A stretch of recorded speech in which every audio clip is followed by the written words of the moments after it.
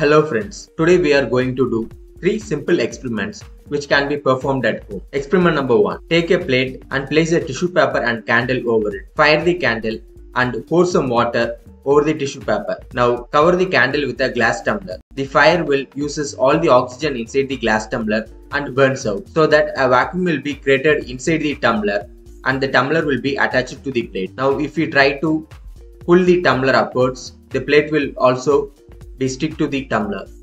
Experiment number 2. Take a candle, abracadabra. Fire the candle.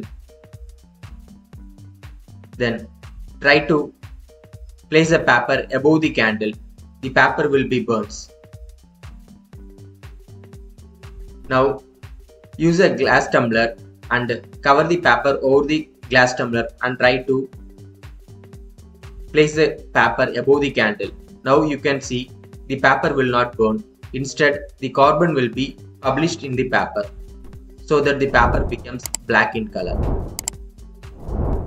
Experiment number 3.